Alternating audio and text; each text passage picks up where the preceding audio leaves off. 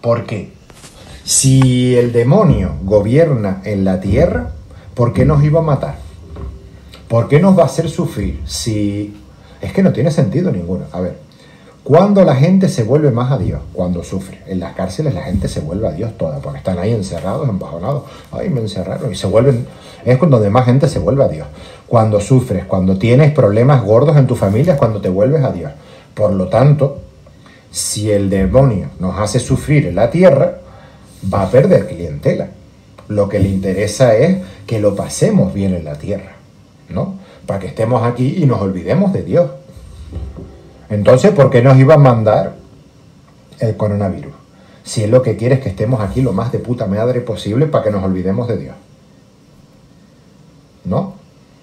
Porque lo que vemos es eso, que cuanto más mal lo pasas, más te vas hacia el lado de Dios, ¿no? Ay, es que mira qué mal estoy. A lo mejor me muero y te pones ahí a rezarle a Dios. Entonces, eso es lo primero. Segundo, si Dios lo creó todo y lo hizo todo y lo sabe todo, ¿por qué existe el coronavirus? Y el demonio, ya que estamos. ¿No? O sea, ¿por qué creó el concepto del mal? ¿Qué necesidad tiene Dios del mal? ¿Por qué existe el concepto del mal? ¿Por qué existe el sufrimiento? Si Dios lo creó todo. Con relación a a esa pregunta que hace de por qué existe el mal en el mundo, por qué hay todo lo que pasa, todas las eh, desgracias y Dios es tan bueno y tan todopoderoso y que todo lo sabe, ¿por qué entonces no evita todas estas desgracias para bien del hombre si es que si es que Dios es bueno y existe?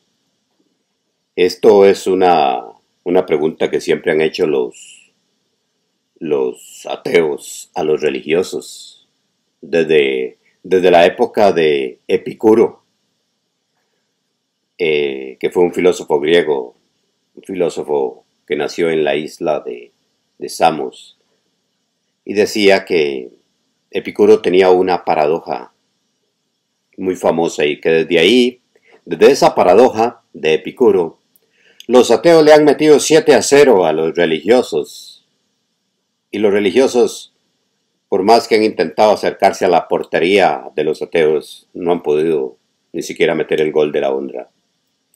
Porque la paradoja de Epicuro es, es bastante drástica, contundente, para efectos de, de golpear al fanático religioso. Cualquiera puede buscar esa paradoja en internet, pero básicamente lo que dice es que si Dios es tan bueno y tan todopoderoso, ¿por qué entonces no evita el mal? Y como el mal no es evitado, entonces la conclusión a que llegan ellos es que, que Dios no existe. Pero esto es una situación que desde el punto de vista de que yo la veo es, es que el ateísmo y las religiones los ateos y los religiosos son, son caras de una misma moneda, la moneda de la esculticia, el fanatismo, de la controversia, de querer siempre discutir, de querer siempre tener la razón, de un ego exagerado, de los religiosos de acercarse un poco a la portería de los ateos preguntando, bueno, pruebe que Dios no existe, a lo que el ateo contesta, no se puede probar, no se puede probar lo que no existe.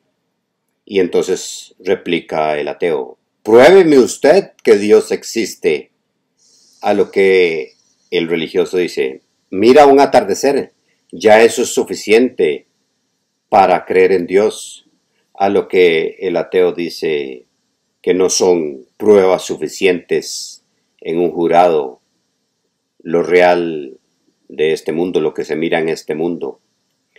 Porque, como dice aquella frase, no hay peor ciego que el que no quiere ver, que es lo que le pasa a los ateos. El ateo, el ateo, yo creo también, desde mi punto de vista lo veo así, el ateo es, es un creyente que no quiere creer en Dios, pero mm, busca hablar a los demás para convencerse de que Dios no existe. Y el religioso es un ateo que sí quiere creer en Dios y busca convencer a los demás para, para certificar en sí mismo de que Dios existe. Por eso es que lo veo como los veo, los veo a los dos como una sola moneda. Las personas espirituales que creen en Dios no necesitan meterse en este tipo de discusiones que nunca llevan a nada porque la fe en Dios es un asunto personal.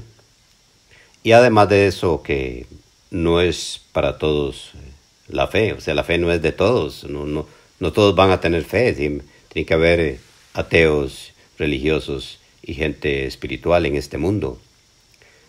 De todo hay en la viña del Señor, así que lo que se puede decir este, de este asunto es que sigamos nuestro, nuestro propio camino, hagamos eh, lo que creemos que es lo correcto y que cada cual piense como quiera.